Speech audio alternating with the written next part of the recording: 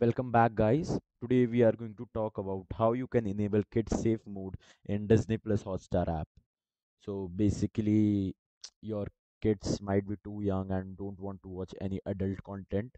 So you need to enable kids mode in Disney Plus Hotstar, and I'm going to tell you how you can basically do that. So what you need to do is you need to, and I'm also going to pin down the instructions in the description uh, below, and you can go and check out from there. So let's jump right into the video.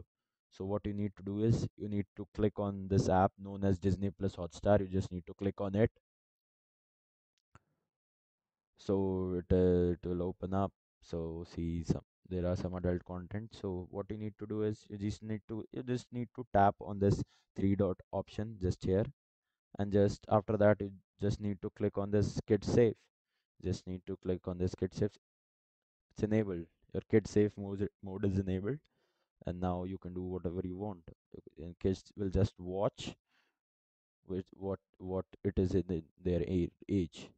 So this is the easiest way that i know to enable kids mode. If you guys know a better method you can just comment down below in the comment section. And be sure to subscribe the channel for more videos thank you